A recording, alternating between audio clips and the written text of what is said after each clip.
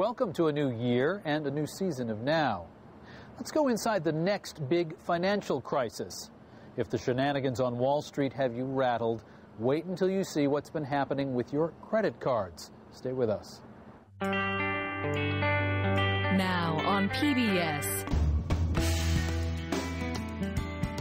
On the Road with host David Brancaccio and senior correspondent Maria Hinojosa. The holidays are over, the new year is here, and it is time to pay the piper. Typically, that means the credit card bills.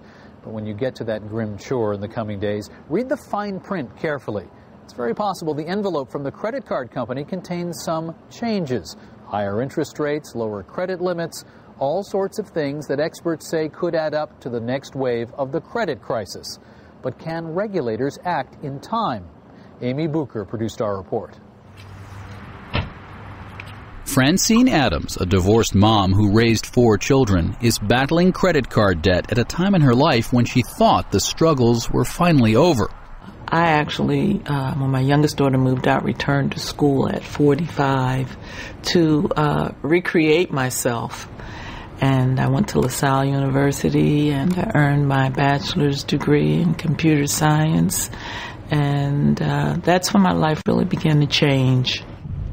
Francine went on to get her master's degree and moved to Florida.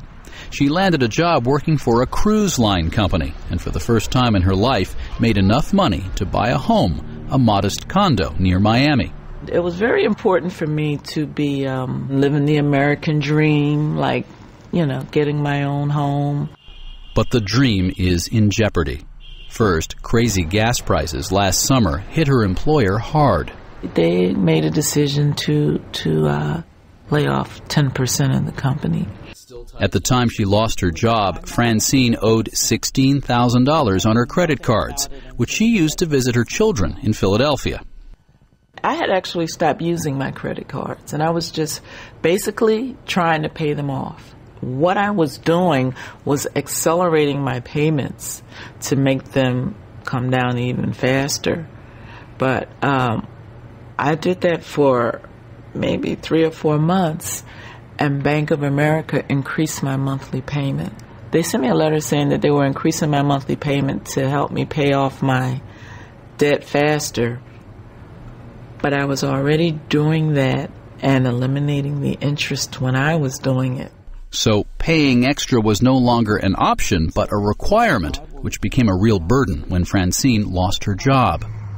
But when she called Bank of America asking for a new payment plan, Francine says they turned her down. It seems to me that Bank of America is not consumer oriented at all. On the contrary, Nessa Feddis says, her industry is being proactive in helping consumers in distress. A lot of card companies aren't waiting for the customer to call them. They're actually reaching out to the customers that they've identified who may be struggling and trying to work something out with them, maybe lowering the interest um, and sometimes forgiving some of the balance. Really? They're reaching out to lower rates? Yes.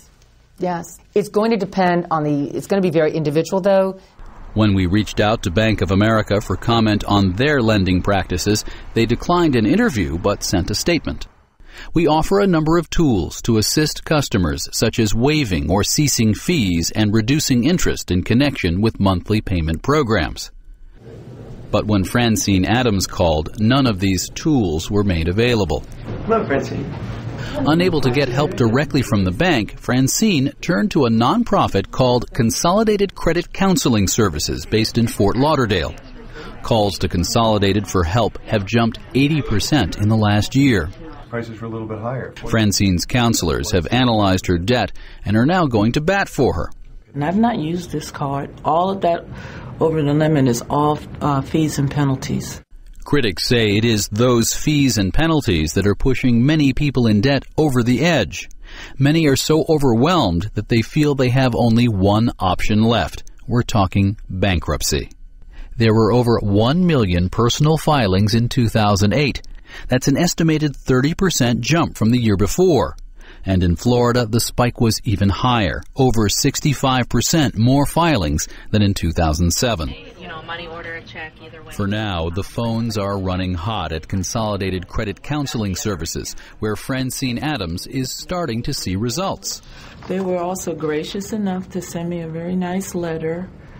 Washington Mutual has already responded to her counselor with a new payment plan that works for one of Francine's cards. Their letter said, We understand that you have a life change situation, and they said, We'll be happy to give you a payment of $58 a month, and you just continue to pay that until your account is paid off. And Bank of America has come around.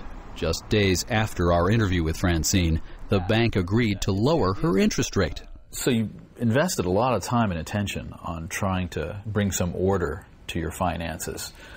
Why are you spending that amount of time? What are you fighting for?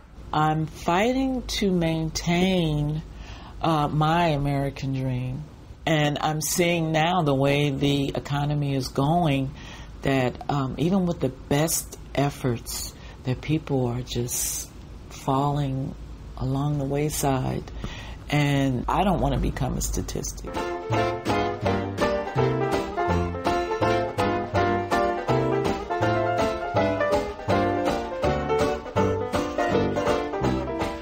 Let me guess, you're probably thinking about your own credit cards right now.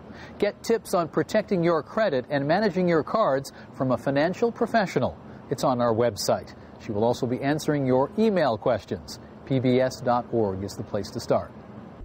Connect to Now online at pbs.org.